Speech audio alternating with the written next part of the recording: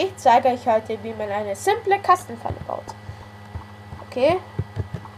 Irgendjemand geht jetzt da rein, also nehmen wir jetzt mal einfach Zombie-Pigman. Komm her, mein Freund. Jetzt ist der da drin. Okay, erstmal gefangen. Und jetzt müssen wir eine Zeit warten. Zuschauertribüne. Dann, dann, dann, dann. Gleiches Seufzer.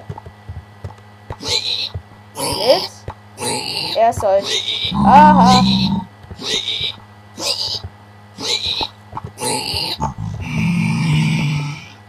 Jetzt geht's auf und man kann vorsichtig das, was er droppt, rausnehmen. Das ist eigentlich ganz simpel. Man baut eine Pressure Plate.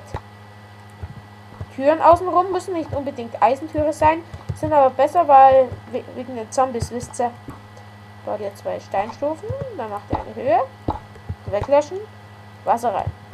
Okay, das ist jetzt perfekt.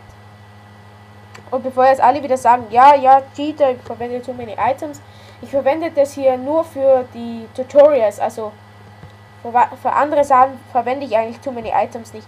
Nur, dass es halt da schneller geht, wenn jetzt was mal nicht hinhaut. Also, ja, sieht man dann so und seht schon, Rüstung ab, schneller geht. Ja, seht ihr, die Luft schwindet und man kann hier nicht raus. Überhaupt nicht. Nicht nach oben. Unten auch nicht.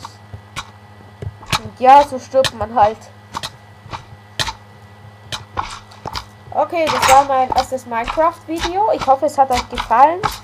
Äh, ja, okay. Ciao. Bis zum nächsten Mal.